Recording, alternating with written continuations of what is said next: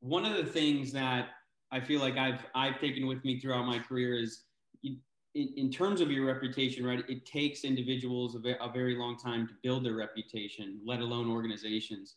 And you know, it can all go away very, very quickly, especially living in the digital age. Within 24 hours, you might have built something for the last 10 years and it's gone. Um, and so I imagine, as you know, one of the world's leading communications leaders, what what how do you begin to identify threats to an organization's reputation uh, proactively, right? I'm sure there's a moment before the moment before the moment that you probably have your eyes on and you're able to identify that maybe a lot of people can't. So, how do you do that and how do you combat those threats to a reputation? Oh, there are so many ways to answer that question, but because cybersecurity is so important, let's talk about what's happening in the digital space alone uh, to illustrate the point. Look at GameStop, a perfect score of the short sale, a perfect storm rather, of the short sales of Reddit, a social media platform, and editorial media jumping on the bandwagon fascinating to note that the run up in stock was due to those elements, not because there were any, any changes in the company's fundamentals. And that's critical because that's the way it used to work.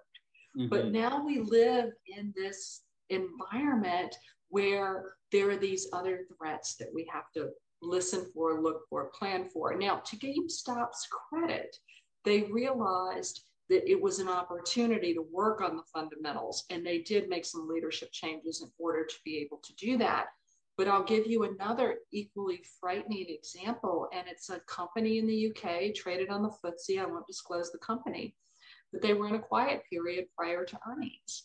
And all of a sudden, and they traced it back to this, a bad state actor was dumping misinformation through bits and bots on the internet about the company. And it was in the weeks leading up to an earnings report that was expected to be very positive. Now, when you're in the quiet period, you can only rely upon what's already been publicly disclosed to defend mm-hmm. yourself.